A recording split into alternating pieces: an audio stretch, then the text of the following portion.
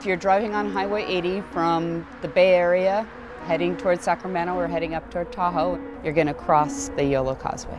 A long bridge, about three miles long, that goes over the top of a flood control structure, which is called the bypass, that takes the Sacramento River water when it gets to a certain level so that it doesn't flood the city of Sacramento, West Sacramento, and the surrounding communities.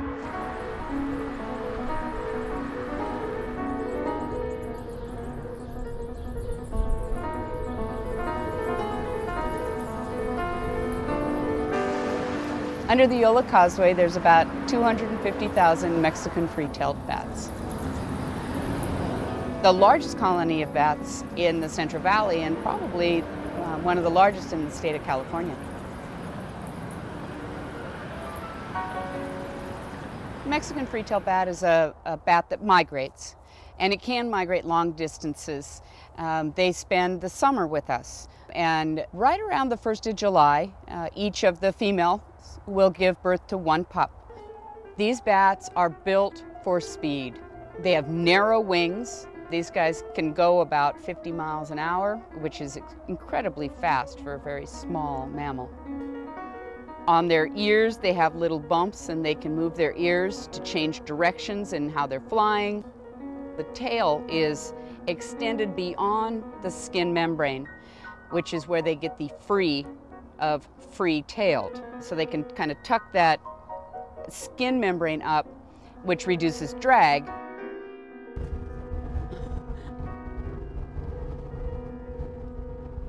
So we're in the Yolo bypass and we're going to be traveling up to watch the large colony of bats fly from underneath the causeway. The bats are going to be flying underneath the freeway bridge and they're going to come right by this tree uh, and then eventually they're going to work their way up into the sky in a long ribbon and break off into their groups to go hunting.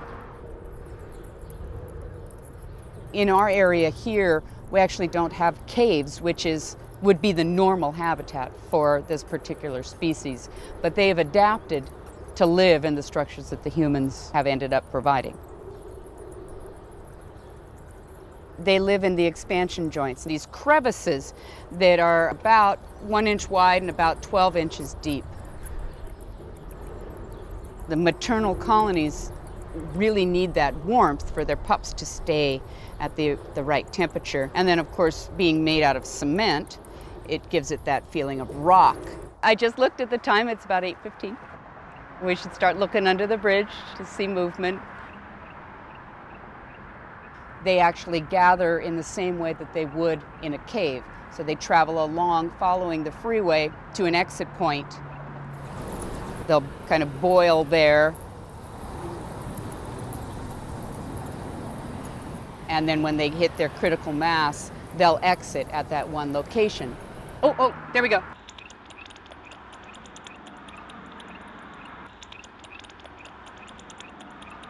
I have a machine called a bat detector.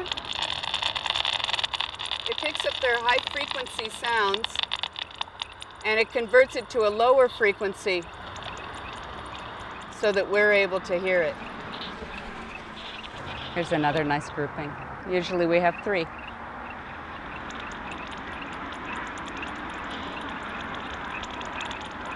Mexican free-tailed bats, like all of the bats that live here in California, eat insects.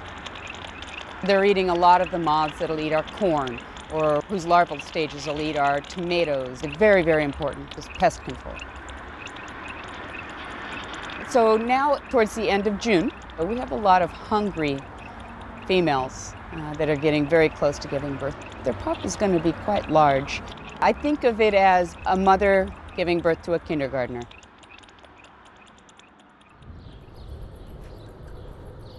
I try to keep track of when the the mothers have actually given birth. And what I do is I will go to the areas where the guano falls, which is right underneath, and literally there will be little placentas and umbilical cords. I have four separate placentas with the umbilical cord still attached. The umbilical cord would be the transport for the nutrients in the placenta to travel into the baby's body. And once the baby has been born, the baby won't need that anymore. It will begin to nurse. I have a permit with the Department of Fish and Game uh, and a permit with the USDA uh, to have bats in care and also to um, have bats to use for education programs. Little tiny wing. So this is a, a Mexican free-tail bat pup. Um, he is about four days old. This pup came from a bat roost in the city of Davis. It had fallen out of the, the crevice in a bridge that goes over a sidewalk. I will raise it and uh, it will be released back into the roost once it can fly. Once they've had their pups, once they've given birth, they come out in uh, thicker groups. There they go. They have to eat a tremendous amount of insects because of the quantity of milk that their body's producing.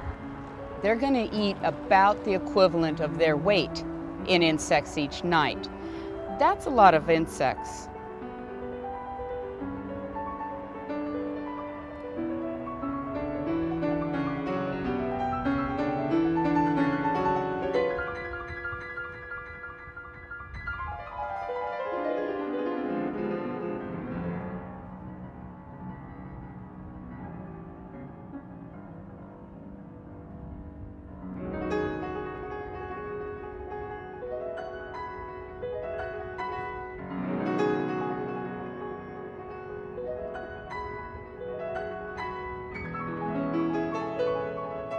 I like that they are so different than their reputation.